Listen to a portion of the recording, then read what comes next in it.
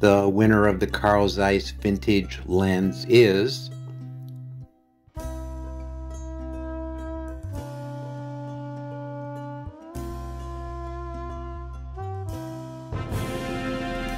Daggered Shots 3385. My email is posted in the video description and please contact me with your shipping information. The next vintage lens giveaway will start soon with a new drawing about every three weeks. Thanks for all the comments. Please subscribe for future updates and announcements.